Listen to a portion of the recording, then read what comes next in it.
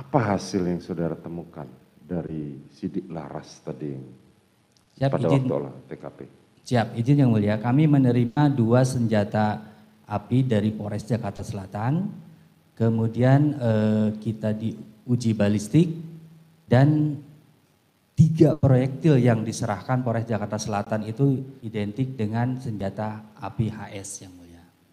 Oke. Kemudian hasil eh, otopsi yang dari rumah sakit. Kita belum berbicara Oh, siap. otopsi. Siap, Kita masih bicara olah TKP. siap. Satu eh, tadi kan empat yang mulia ditemukan, tiga itu dari HS yang mulia, kemudian yang satu dari Glock yang mulia. Glock berapa bisa dijelaskan? Eh, Glock yang kami periksa dan kita bandingkan adalah Glock eh, 17 MPY 851 yang mulia. Glock 17 ya. Siap, Artinya di lokasi eh, TKP ditemukan jenis HS dan Glock.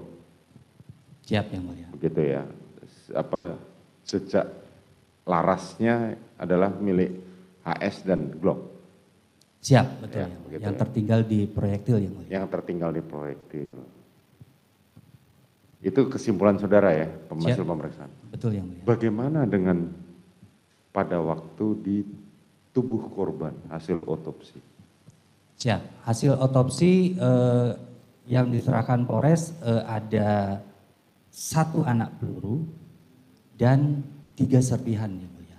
Ya, Ter- se- eh, serpihan yang pertama adalah dari eh, jaringan otak.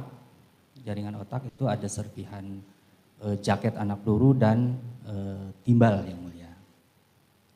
Bentuknya kecil, kecil sekali.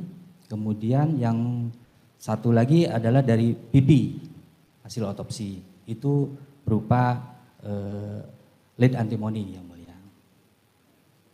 Siap. selanjutnya jejak larasnya Eh, untuk yang serpihan tidak bisa kita bandingkan yang mulia karena bentuknya sangat kecil dan tidak ada garis-garis kasar, galangan atau dataran pada serpihan tersebut yang mulia. Hmm.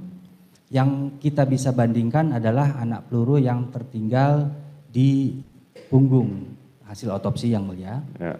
Itu kita eh, bandingkan dan itu identik dengan Glock yang mulia.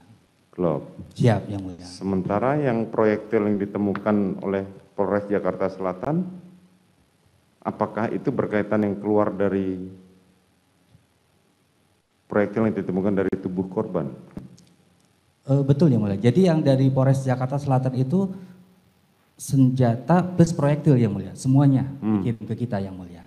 Jadi eh, sekali pengiriman itu ada dua senjata, kemudian ada peluru, selongsong dan serpihan yang mulia.